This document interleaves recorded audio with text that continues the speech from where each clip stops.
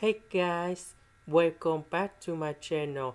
So today I want to show you how to answer this one. We have the formula in here.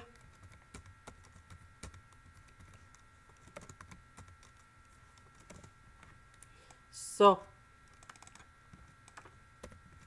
we have 8 minus b.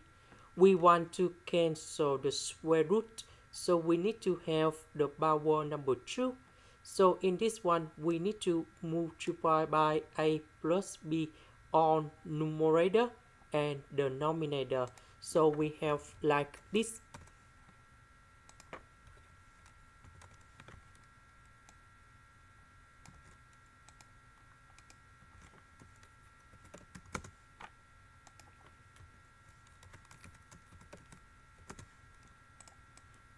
Next, this one we simplify and we have like this. So 4 minus 2 square, you got number 0. Next, we can do about factorization by s. And now we can simplify by s.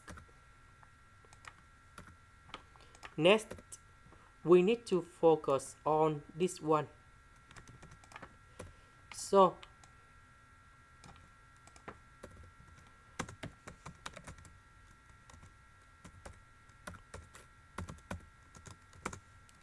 when s approaches to number 0, we put number 0 go in here. So this one, you will have ln number 0 and that means we got negative infinity.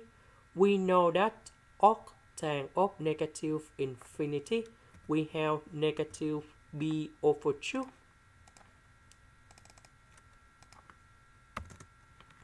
So in this case, we just put number 0 go in here, here, here. And we have the final answer.